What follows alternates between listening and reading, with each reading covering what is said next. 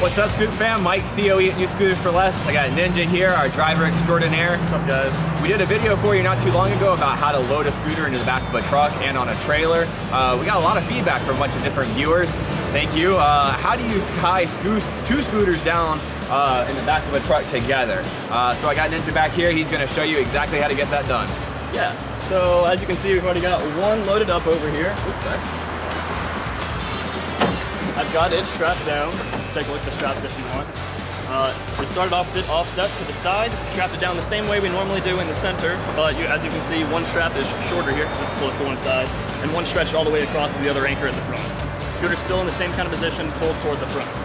Um, what I'm going to do is strap in the second scooter on the front, and then we'll get the back straps put on.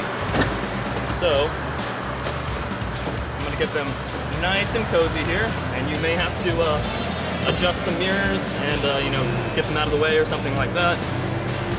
Or uh, you know worry about handlebars hitting each other and things like that.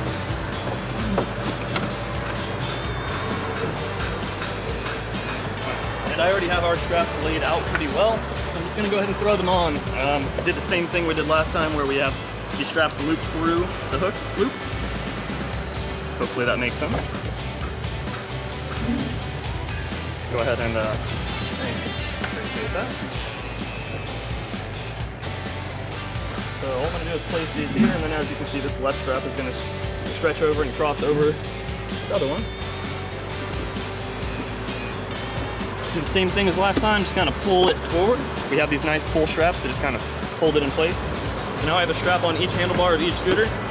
They can't really move. And we're going to go ahead and throw a rear strap on there on both just to make sure they definitely can. Again, I already have everything kind of laid out here, so one rear strap.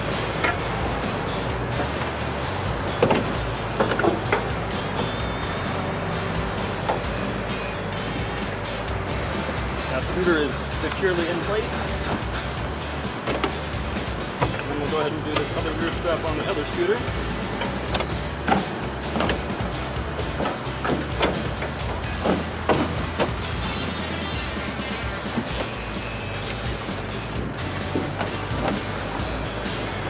That. You act like you've done that before. Yeah, only a few times. So we end up with these, you know, the series of X's, um, but it's the same thing as the singles. You've got the two handlebar straps and uh, on each scooter, and then that one rear strap holding the, the rear securely in place. So you still end up with uh, four points of contact on each scooter. Um, you just get to do it twice. In all, I mean, you can see the most important thing is making sure the scooter's not going to go anywhere.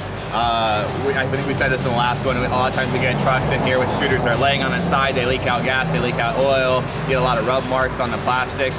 If you go ahead and tie them down this way, you don't have to worry about any kind of damage or any kind of maintenance issues that you may have.